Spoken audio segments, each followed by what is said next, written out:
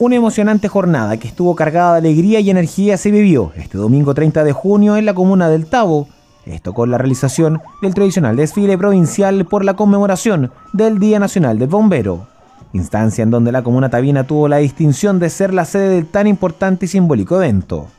Fue alrededor del mediodía que se desarrolló la instancia en la avenida San Marcos, lugar en el que se congregaron voluntarios pertenecientes a los diversos cuerpos de bomberos de las seis comunas que componen la provincia, para desarrollar el acto que se llevó los aplausos de varios asistentes que concurrieron a la cita.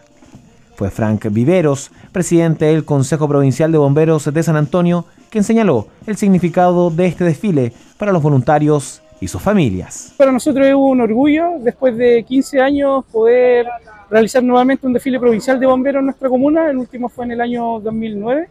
Eh, contamos con la presencia de todos los cuerpos bomberos de la provincia de San Antonio, más de 300 bomberos, que ahora vamos a realizar el desfile provincial por el Día de Bomberos. Fueron más de 300 los voluntarios que brillaron en esa jornada, demostrando su compromiso con la institución sin fines de lucro. A la cita asistieron los alcaldes de la comuna del Tabo, Alfonso Muñoz, y de Santo Domingo, Dino Lotito, además de cientos de personas que disfrutaron de este desfile que no se desarrollaba hace más de una década.